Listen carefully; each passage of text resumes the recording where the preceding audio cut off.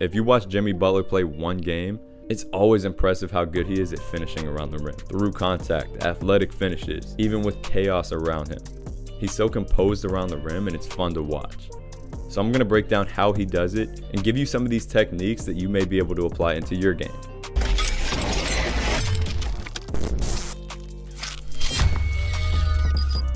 So the first thing we'll talk about is his patience around and approaching the rim.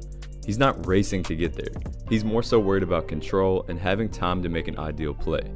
He'll even take these longer, slower steps at times to slightly slow himself down, get a better feel for the defense, and finish in control. Or even letting that defender pass as he slows down and makes a bit of contact.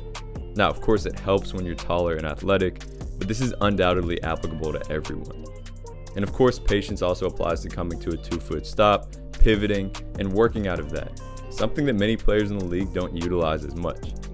Another quality he's really strong at is rotating as he's finishing.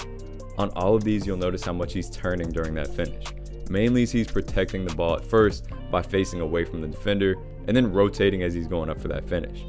This can be tough to have the touch to do this, but it opens up a lot of options. And this kind of goes hand in hand with being able to change direction on his finishes, like you see here. Notice also the timing of his jumps and how unpredictable they are.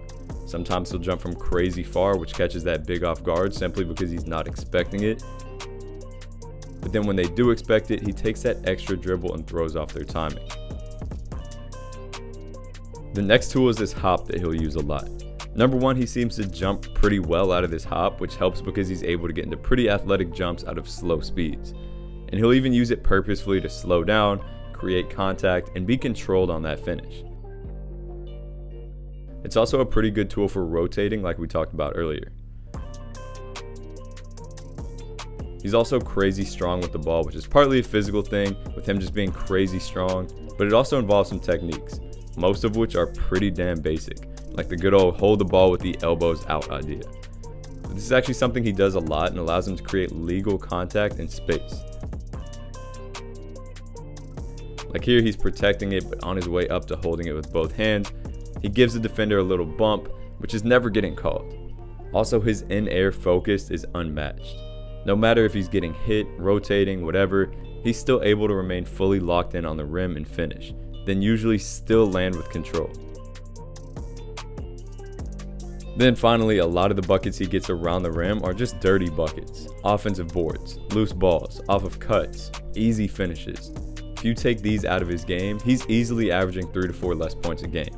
Yes, it's because he's athletic, but there are plenty of dudes built like Jimmy athleticism wise, but not that many have such a knack and willingness to get the ball and score it so often. As always, thank you guys for tuning in. Hopefully you enjoyed this video and took something from it. Make sure to follow me on Instagram at By Any Means Basketball for a lot more like this. Stay tuned.